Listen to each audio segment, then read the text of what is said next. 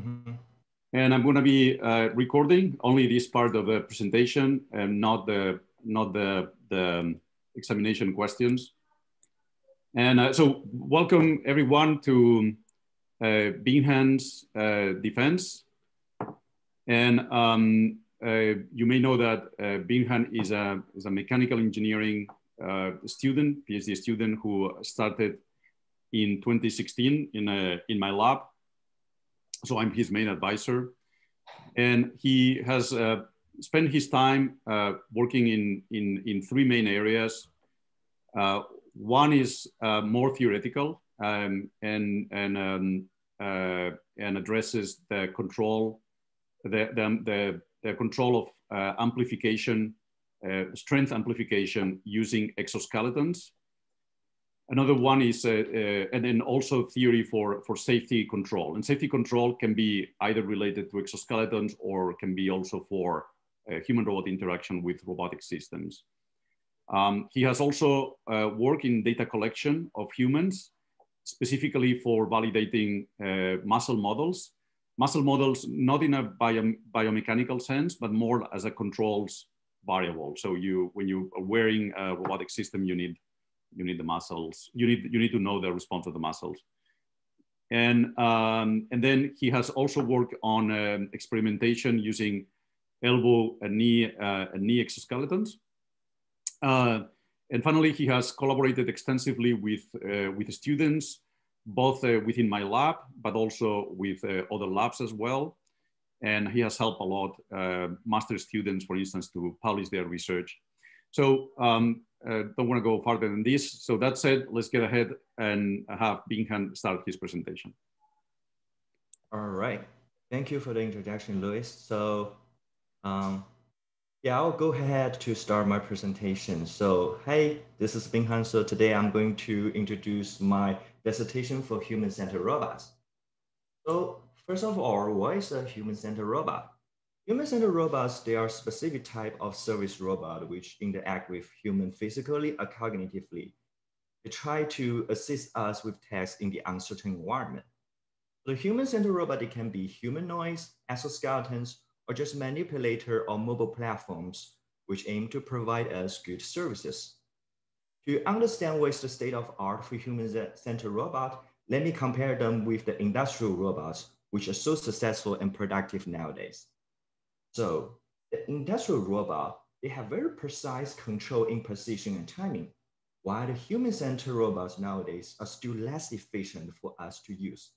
This is because a lot of the human input the human-centered robots rely on are immeasurable or uncertain or even completely unknown. The safety requirement for the industrial robot is very straightforward because the object in their test environment basically rigid and static. While the human-centered robots, they're facing much more complicated safety requirement because humans are much more dynamical and vulnerable compared to the plastics and metal materials in our factories. So my dissertation aimed to improve both the responsiveness and safety for human-centered robots. For responsiveness, I invented a new human dynamic model, which significantly reduced the human model uncertainty. And based on this new model, we can develop robot controller with a better performance during the physical human robot interaction. For safety, I developed a new safety control algorithm, which deal with different type of safety constraints. In particular, my safety control algorithm guaranteed a safe robot operation even under the human force intervention.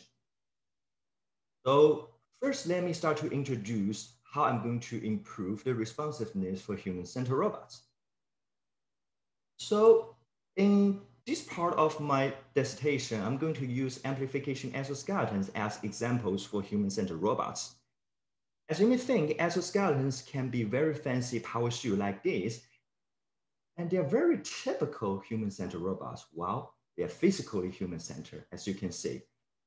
And amplification exoskeleton in particular, they measure the human contact force and provide an amplified version of it such that a human operator can carry heavy load very easily. This helps us in the factory to prevent the back injury of the factory worker and back injury actually cause the costs us a lot of money each year in the United States. Well, controlling amplification exoskeleton actually is difficult because human is an uncertain time varying system. If we do not take care of the human dynamic properly, the exoskeleton can easily be unstable, just like this video shows. To have a better understanding what is the exact problem from human dynamics, let me use this one-off physical human-robot interaction model where we model the human impedance as a mass spring damper system.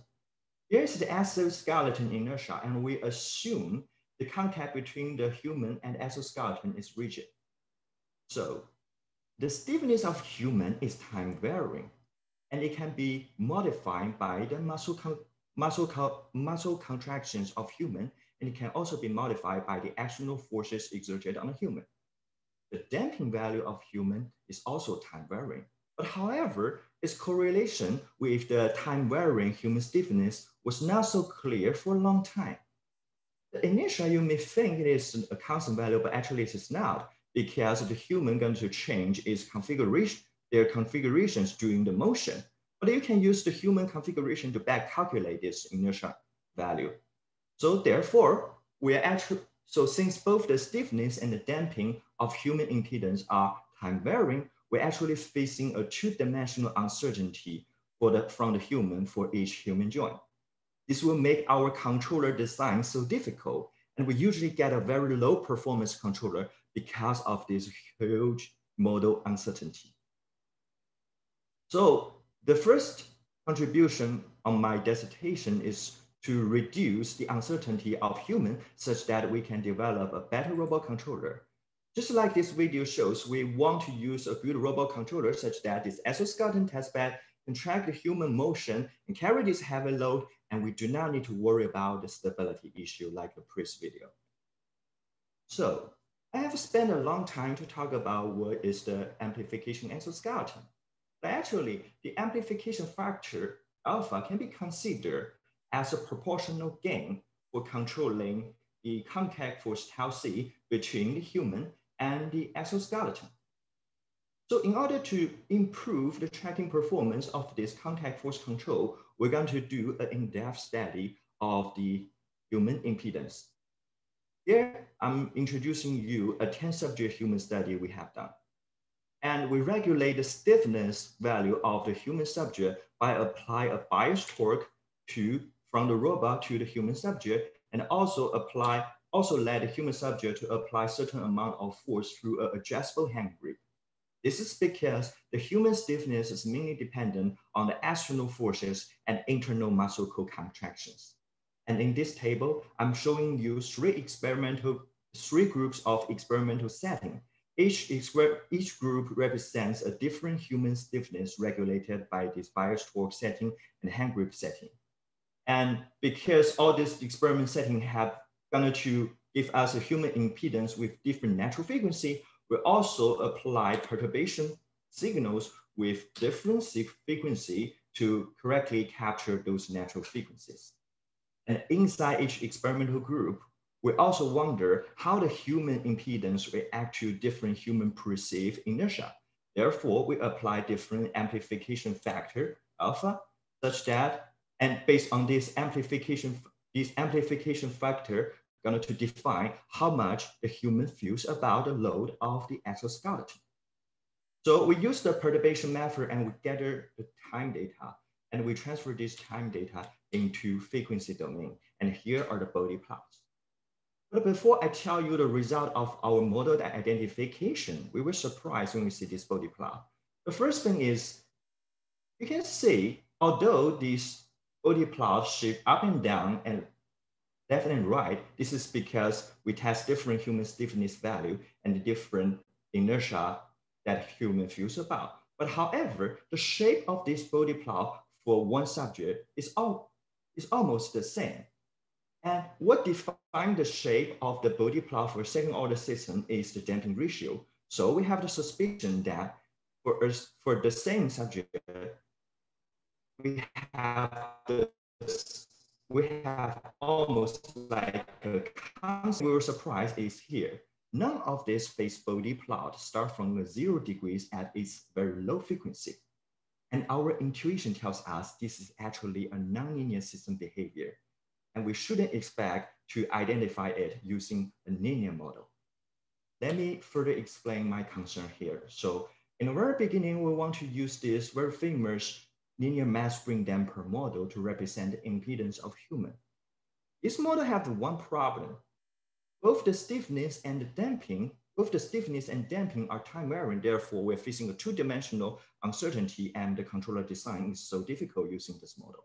But however, now it seems this model is also wrong because it failed to explain the low frequency phase shift behavior in this phase Bode plot. But it turned out this kind of low frequency nonlinear behavior can be better explained using a hysteretic damping term instead of a conventional linear damping term. And if we take a look at this hysteretic damping term, it is an imaginary value in the frequency domain. Together with this real value, which is the human stiffness, we call our new model the complex stiffness model. If we take a look at the damping ratio of this new model, it will be the hysteretic damping parameter over two times the human stiffness value. Therefore, if we can identify a linear relationship between these two parameters, we can actually explain why the human subject can maintain a consistent damping ratio versus different stiffness and environmental inertia. But before we try to find the correlation between these two parameters, there's another problem we need to answer. We need to compare whether is this new hysteretic damping term more significant or the conventional linear damping term more significant from our test result. Therefore, we create a third model, which is a combination of the other two models. So by conducting model comparisons between model one and model three, and between model two and model three, we'll be able to tell which damping term is more significant. And our hypothesis for this human subject study is the newly invented hysteretic damping term going to measure well the human impedance behavior and it's going to be more significant than the conventional linear damping term from our result. So let's go back to this Bode plot. We use this frequency domain data to fit all three models such that we can identify the parameters. And the fitted and the dashed line here actually is the, are the fitting curve using model three. You can see it fit the low frequency shift pretty well. And this is all because of the additional hysteretic damping in it. So after we fit this model, we're going to conduct the model comparison through the F-test. The F-test is calculated based on the residual square sum from our model fitting. We want to compare the model for each individual subject across all nine experiment settings. And for each experimental setting, across all 10 subjects and for all the subjects and experiment setting overall. Here, the plot is showing you our statistic result for the F-test. The red bar showing you the F-test between model one and model three. The blue bar shows you the result between model two and model three. And this solid line shows up if there is a F-test value, which is higher than the threshold of 5% false rejection probability. So if the red bar is higher than the threshold, then we basically cannot ignore the hysteretic damping in this comparison. If the blue bar is higher than the threshold, then we cannot ignore the linear damping in this comparison. So based on this result, we can see almost all the subjects shows a more significance for the hysteretic damping than the linear damping, except for subject A.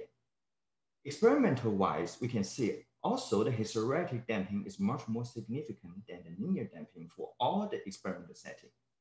Overall, although we still have a small effect from the linear damping in our result, but the hysteretic damping is much more significant. So based on this model comparison, we can accept the fact that hysteretic damping do play an important role in human impedance. And now let's talk about the correlation between the hysteretic damping and the stiffness in our complex stiffness model. Actually, the ratio between these two parameters is also called a hysteretic damping loss factor from the field of structural mechanics. So if we take a look at this term, if this term is a constant value, then both the damping ratio and the low frequency phase shift of the human subject will be constant value. So in order to find out the correlation between these two parameters, we conduct a linear regression in a log-log scale between these two parameters. This will give us a power law relationship. This beta zero value is the intercept of the regression line, and this beta one value is the slope of the regression line. And here, the three plots showing you the regression result from to our most representative subject and the geometric subject, geometric average across all the subjects. The ellipsoids here showing you the covariance for the average. So from this regression line, and also this table showing you all the regression result for every subject, we can see the I square, the R square value for the regression line are pretty high Therefore, the power law we identify here is pretty reliable. So if this beta 1 value, which is the slope of the regression line, is exactly 1, then the hysteretic damping loss factor will be a perfect constant value. But however, if you take a look at this result, the beta 1 value for some subject is slightly smaller than 1, for some subject is slightly higher than 1. But mainly all these values are very close to one. So this helps us to explain why the damping ratio and the phase shift for a human subject varies in a small range. But no matter what beta 1 value we have, we already obtain a relationship that we can use the stiffness term, stiffness value to represent the hysteretic damping value. Therefore, we obtain a one parameter complex stiffness model. Uh, this one parameter is the human stiffness parameter. Therefore, we reduce the two-dimensional uncertainty from the conventional mass spring damper model to the one-dimensional uncertainty to our new complex stiffness model. So we have found this new model with the reduced human uncertainty. Then the next question is how we're we going to define a new controller using this new model? Well, so let's take a look at the transfer function of the amplification exoskeleton and here I'm showing you the conceptual Bode plot of the plan. From the low frequency to the high frequency, we first have a pair of poles at the natural frequency of human wearing the exoskeleton. And then we have a pair of zeros at the natural frequency of human alone. And then we have another pair of zeros at the natural frequency of the actuator. So if we apply a very high value of amplification, which because of we want to achieve high performance from the exoskeleton, the gain crossover going to naturally fall beyond the natural frequency of the actuator. This frequency range is actually dominated by the contact sensor noise. And the phase margin is also quite small here. Therefore, if we directly close the loop for this case, the system will be unstable and also amplifying the sensor noise. So we definitely want to maintain the stability of our system and achieve the highest bandwidth as possible. Therefore, next frequency range we can consider is between the natural frequency of human alone and the natural frequency of the actuator. But since both of these two second order subsystems are underdamped, therefore if we make a crossover in this frequency region, we're gonna to have two additional crossover, one out of each side in this frequency out, uh, one out of each side of this frequency region. Therefore, we need to shift our crossover to even lower frequency to obtain the stability of operation. In order to do that, we can use a PI controller, which shifts the crossover and eliminates the steady state error. And here the plot is using the green line, the red line showing you the original plan, the blue, the green line shows you our PI controller, and the blue line shows you our plan with the PI controller. However, using this PI controller, we also have one problem. This PI controller sacrifices a lot of the gain between the very low frequency to the crossover frequency. This means the robot will have poor tracking performance for, for, for, the, for those frequencies. And if if the human operator move very fast, our exoskeleton system is not going to properly respond to it. So is there a way we can further improve the tracking performance for these frequencies? let's go back to the transfer function of our plan. Actually, because of the complex stiffness, we have a phase shift from minus 180 degrees between the natural frequency of human lung and the natural frequency of human wearing the exoskeleton. And if we make a crossover in this frequency region, we actually have a guaranteed phase margin and guaranteed phase margin value, which is a hysteretic damping, is, which is a complex stiffness phase shift value.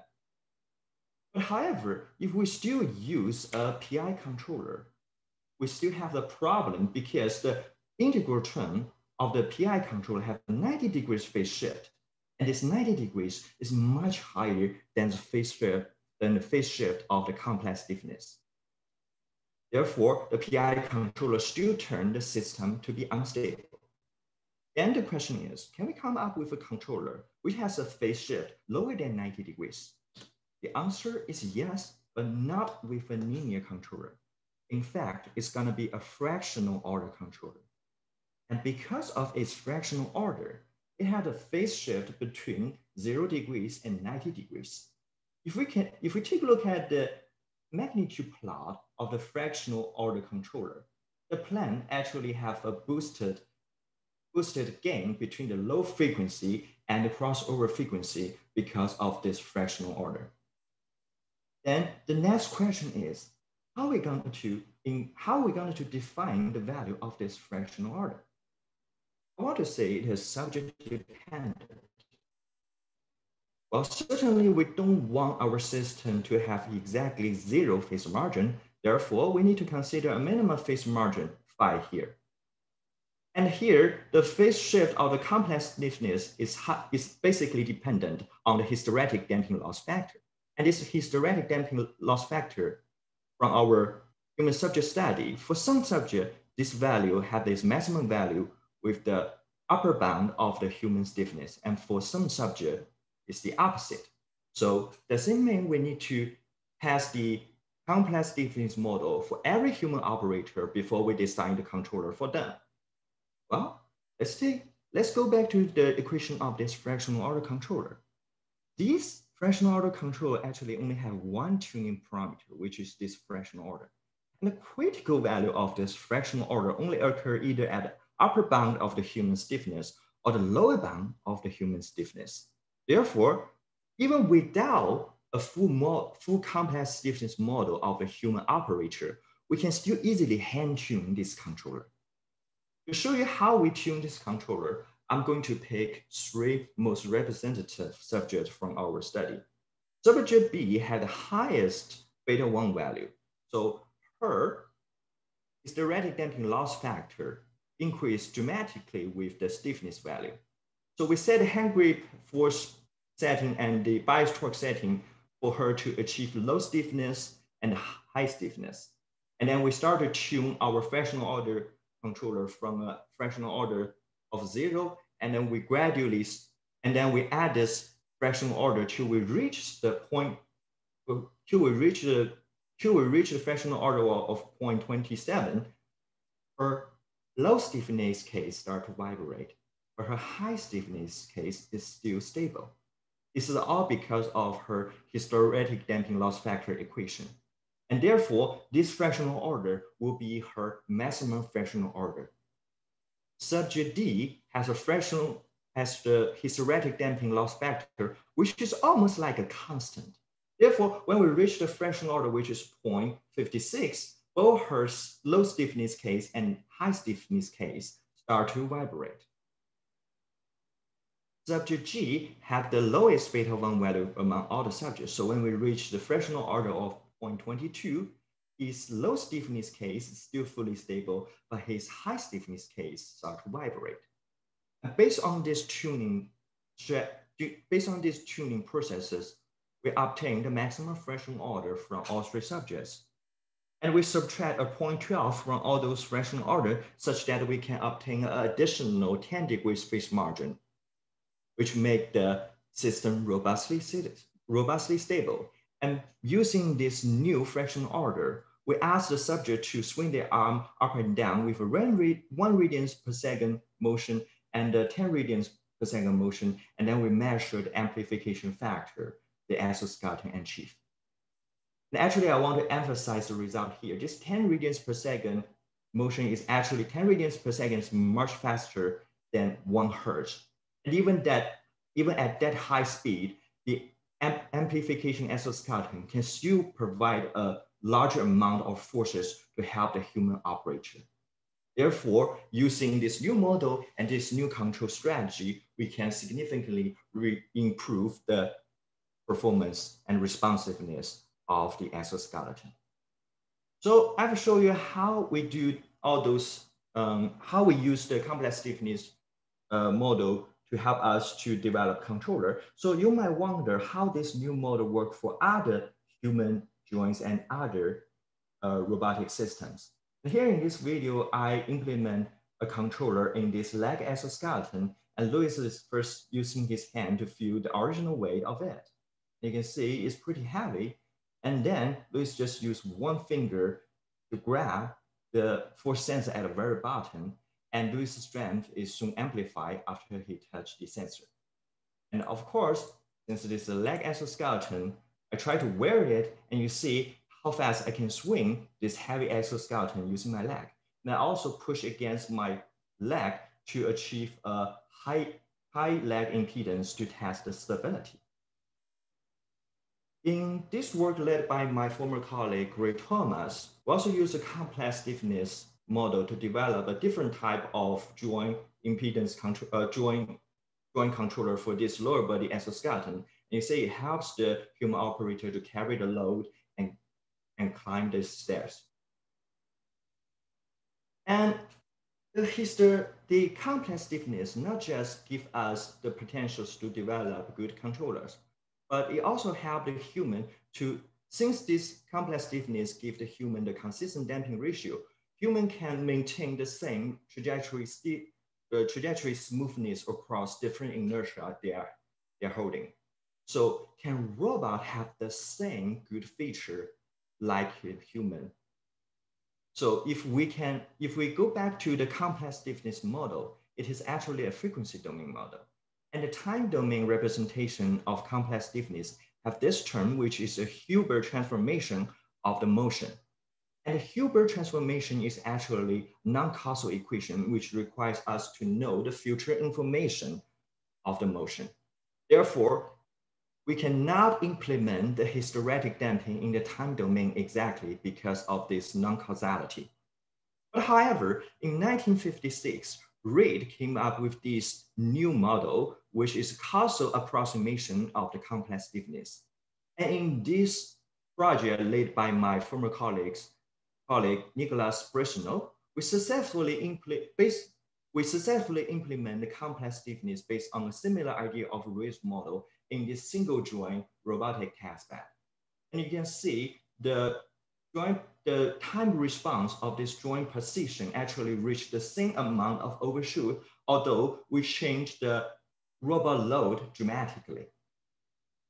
So I have shown you my result of uh, developing new human dynamic model and develop new controller for improving the responsiveness for human-centered robots. So far, the robot I have been talking about, they are basically strict followers for human. And for this type of robots, they basically rely on the human themselves to obey the safety constraint except for stability. But a more reliable, but more, a more re reliable human-centered robot should actively prevent us from the potential risks. Therefore, in the second part, I'm going to talk about a new safety control algorithm, which guaranteed the, safe robot operation during the physical human-robot interaction. So let me first give you some literature review. Safe robot trajectory can be synthesized using the quadratic programming method subject to some control barrier function constraints. You can also use the LQR tree method, which is a combination of a shooting trajectory with some stabilizing controller through the LQR method.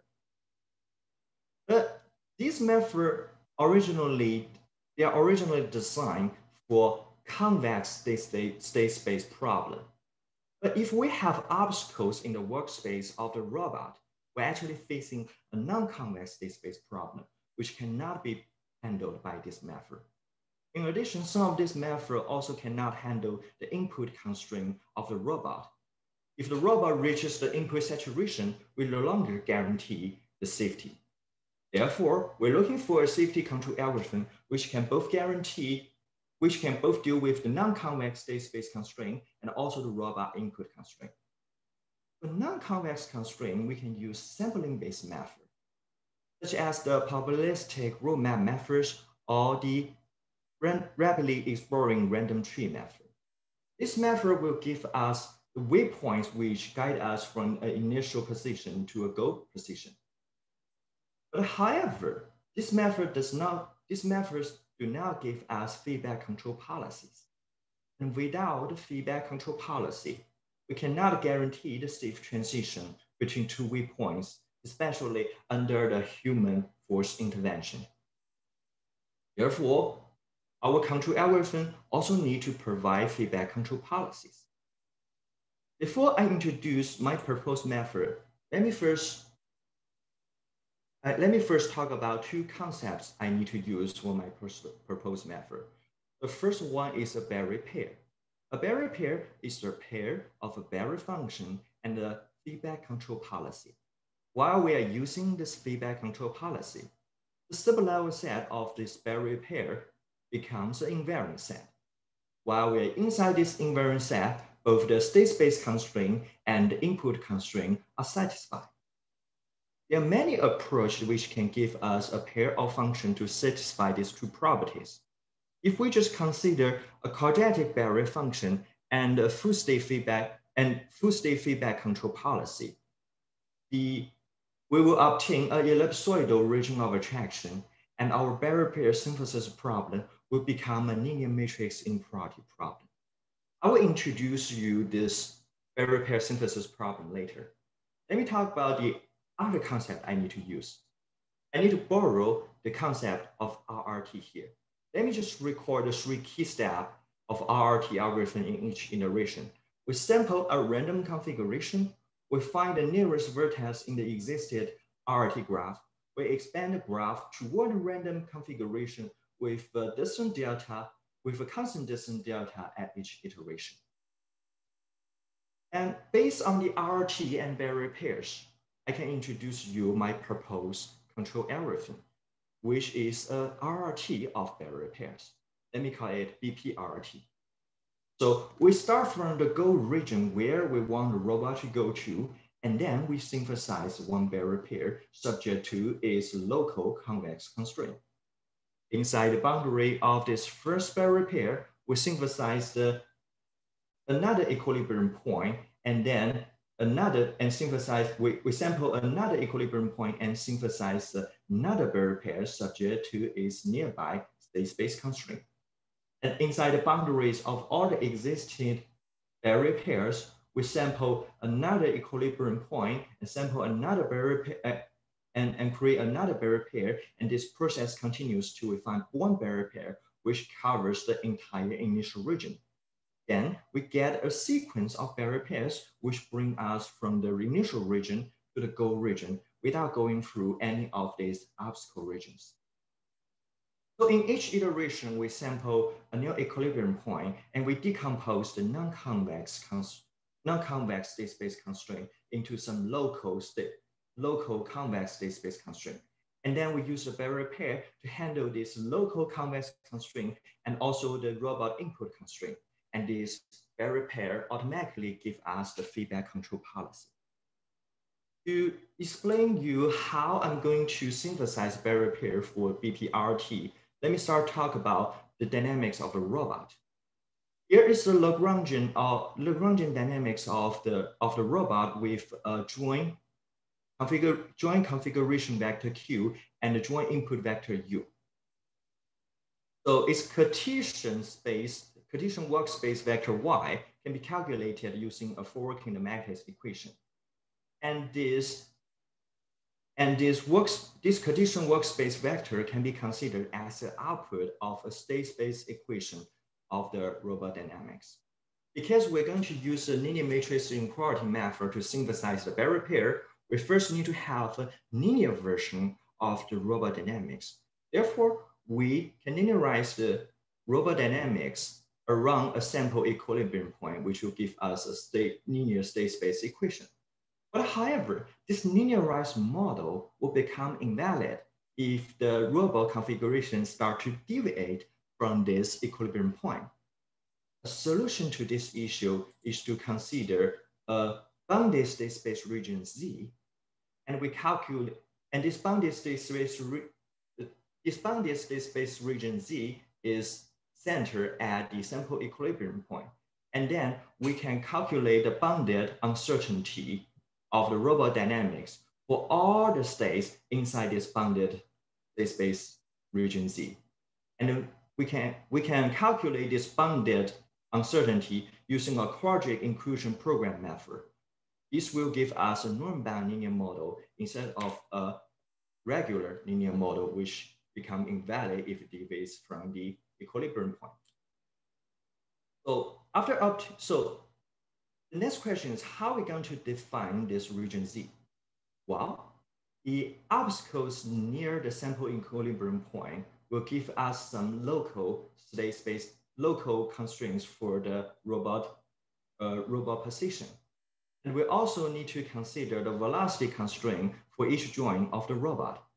And this position constraint and velocity constraint together will give us the full definition of this Z region.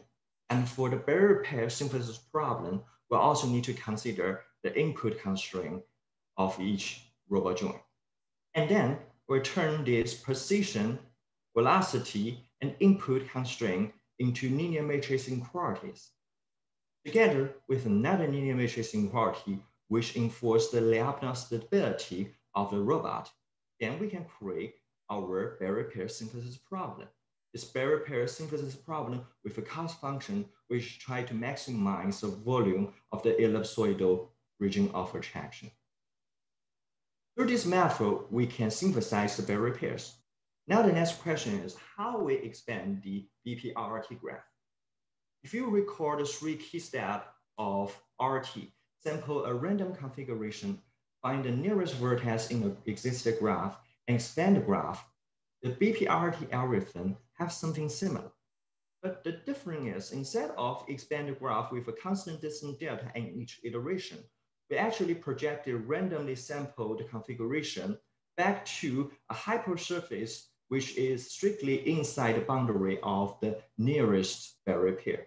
This will guarantee the newly sampled equilibrium point is already inside the boundary of the existing barrier pair. Therefore, if we synthesize a new barrier pair, the transition from this new barrier pair to its nearest barrier pair is guaranteed to be safe.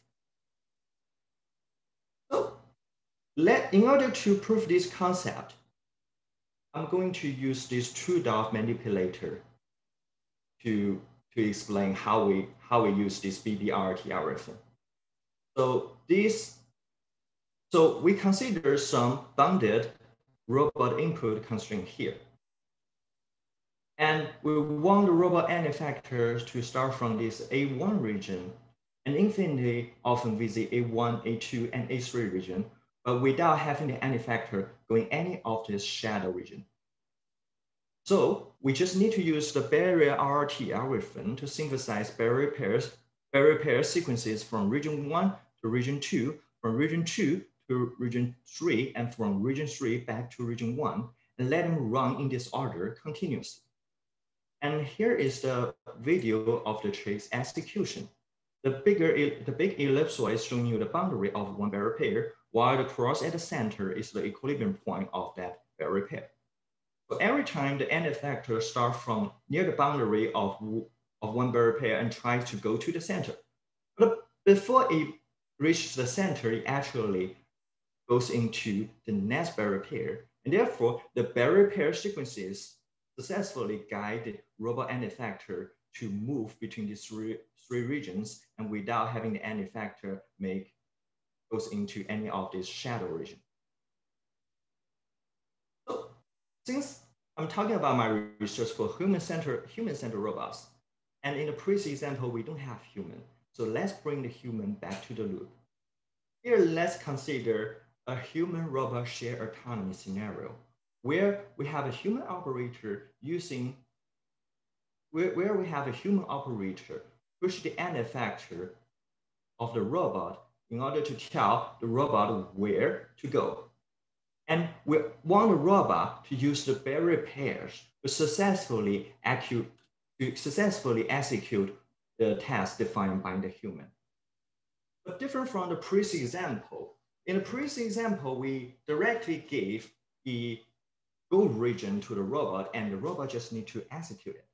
Here, the robot actually need to use the human force input to estimate the direction, to, to estimate where the human really wants to go. And sometimes human can really give a force which, for example, pointing between two regions. And this kind of human command is super ambiguous.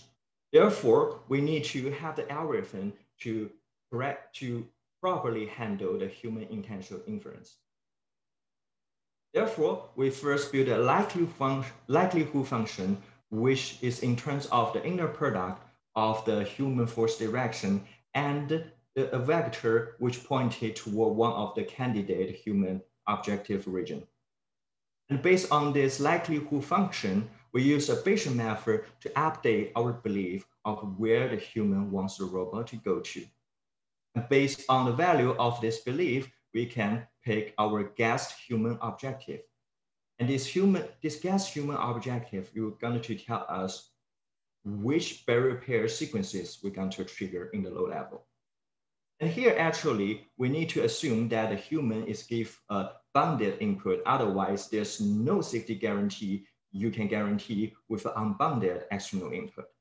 But because of this bounded human input, the barrier pair is no longer converging to the equilibrium point exactly. Instead, it's going to converge residual set, which is a smaller ellipsoidal region centered at the equilibrium point. Therefore, if we want to guarantee the safe transition between two barrier pairs, we also need to consider that this residual set of one barrier pair is entirely in its, inside the boundary of its adjacent barrier pair. After properly handle this kind of concern that we can use our barrier pair RT algorithm to build the barrier pair sequences which connect different human objective regions here. Here, the bigger ellipsoid is the boundary of a barrier pair and the smaller ellipsoid is the residual set. And here, I'm showing you the simulation. But I should tell you, although this is a simulation, but there is a real human operator using the keyboard to control the direction of this red human force at the end effector.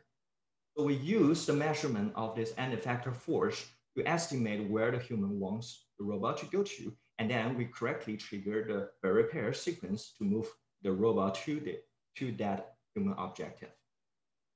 And by this kind of, uh, by combining the high level human intention inference and the low level barrier pair method, we can successfully solve this human robot share autonomy problem. With this video, I will end the second part of my dissertation.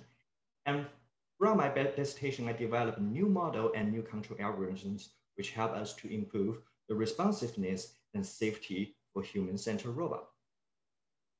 And here I'm showing you the publications I have so far in my PhD study. So after all this result for human-centered robots, you might be wonder what is the next step for me? Well, so although we have those good model and control algorithm which help us to improve the responsiveness and safety, but however, if you want to further improve these two things at the same time, at a certain point, we're going to reach a trade-off. Let me use this exoskeleton example again. At that time, actually, I implement very aggressive uh, amplification exoskeleton controller. And this aggressive controller is actually designed for a particular human impedance value. And therefore, if the human impedance is, is exactly that, this, that uh, human impedance we use for the design, the tracking performance is pretty good. But soon after the human operator changes the impedance value, the system becomes unstable The easiest way that we can resolve this issue is to make our controller more conservative, which will bring more robustness back to the system.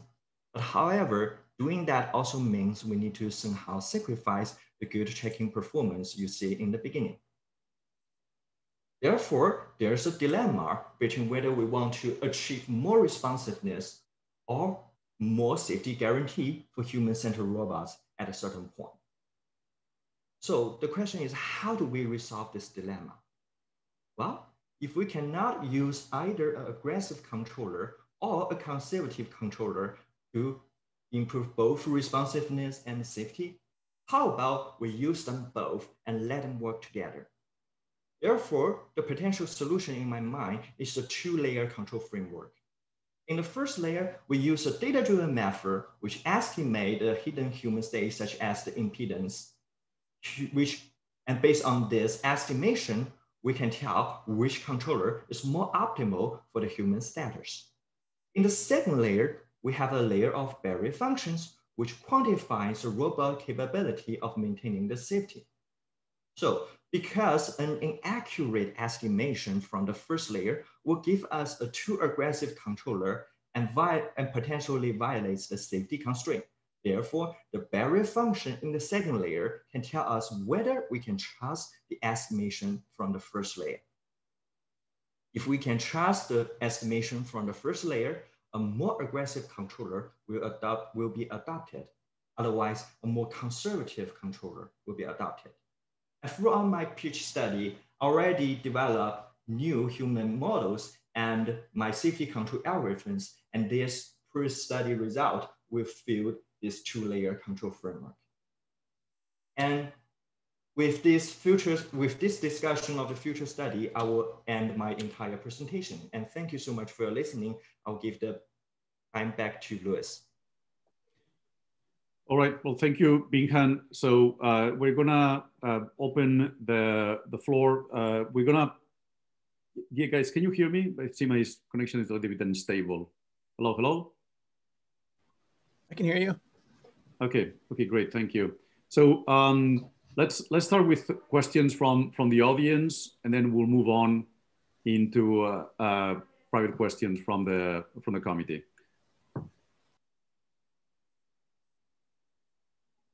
So audience, uh, except committee, do you guys have any question?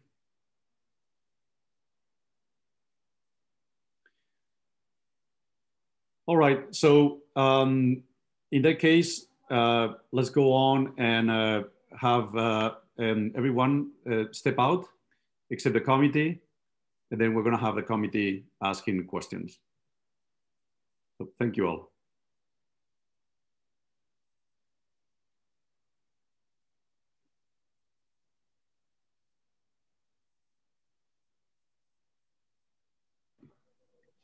Okay, let's give it another few seconds.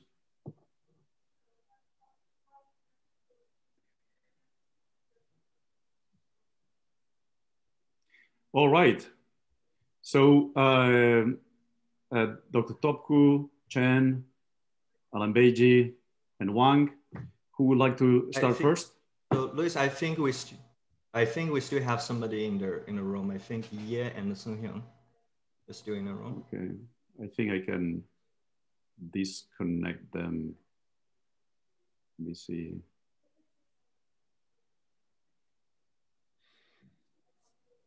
Okay, great. I took out. And um, Seung Hyun, are you there? Can you uh, log out?